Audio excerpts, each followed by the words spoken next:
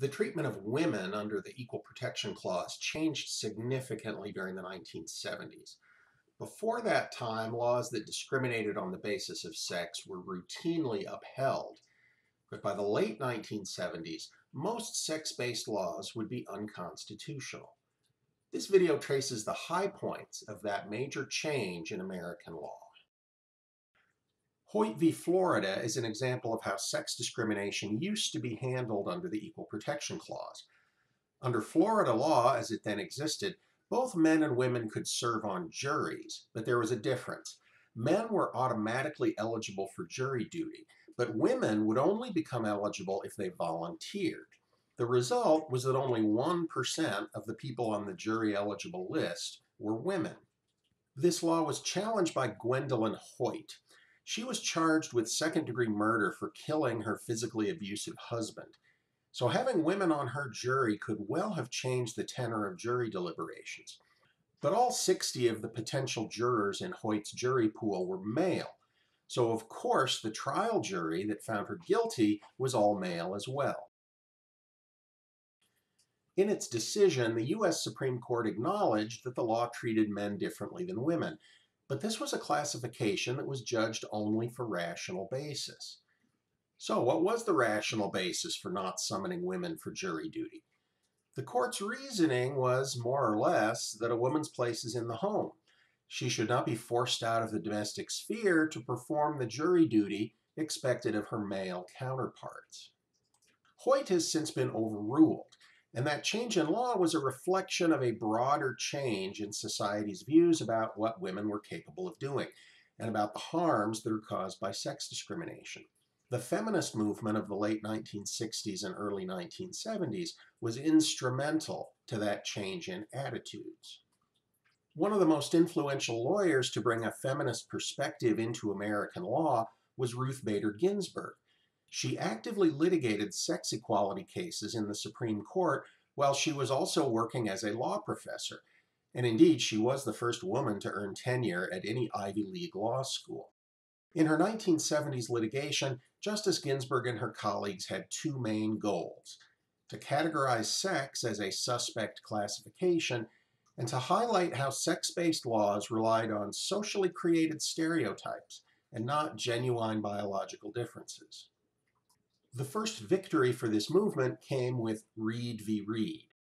In Idaho, a statute determined who would be the administrator of a deceased person's estate. As a tiebreaker, the statute preferred males over females. This law was challenged by Sally Reed, who was prevented from acting as the administrator for her late son's estate. The state's justification was that it was rational to have some sort of easily administered tiebreaker and sex was easy to administer, and it's as good as any other tiebreaker, like being a whole relative rather than a half relative. However, the Supreme Court unanimously held that this was not a good enough justification for a sex-based law. And with that decision, Reed v. Reed became the first U.S. Supreme Court case to hold that a law was unconstitutional because it discriminated on the basis of sex. Ever since it was decided, there have been debates about whether the Reed opinion was really a rational basis decision or whether the court was perhaps using something stricter than that without quite saying so. Those arguments are beyond the scope of this video. The level of scrutiny for sex-based laws was front and center in Frontiero v. Richardson. In that case, a federal law would automatically give male service members health insurance for their wives, but female service members would not always receive it for their husbands. This law was challenged by Lieutenant Sharon Frontiero of the U.S. Air Force. Because she was female, her family had to pay extra for her spouse's health insurance, an expense that they would not have incurred if Lieutenant Frontiero had been a man married to a woman. An 8 to 1 majority of the court found the law unconstitutional, but there was no majority on the reasoning. A plurality opinion said that sex-based classifications should receive strict scrutiny. For these four justices, sex, like race and national origin, is an immutable characteristic determined solely by accident of birth. Because the country had a long and unfortunate history of sex discrimination, sex based laws were inherently suspect.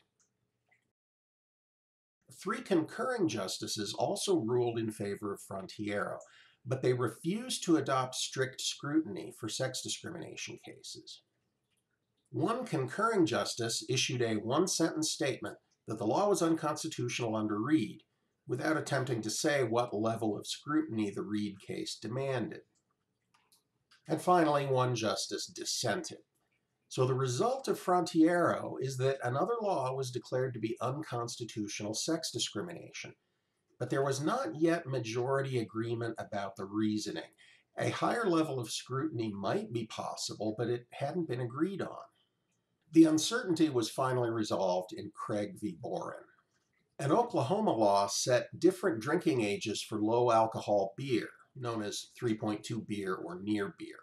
Women could buy it at age 18, men could not buy it until age 21. This law was challenged by two plaintiffs, Curtis Craig, a male who could not buy near beer at age 18, and Carolyn Whitener, the owner of a liquor store who could not sell near beer to customers like Craig. In the Supreme Court, the vote count was again 8 to 1 against the law, but this time there was a majority on the reasoning. It contained a standard that we now know as intermediate scrutiny. The Craig v. Boren test for intermediate scrutiny uses the words you see here. For a sex based law to be constitutional, it must serve an important governmental interest, not merely legitimate, but not necessarily compelling. And the law's reliance on a sex classification must be substantially related to that important interest.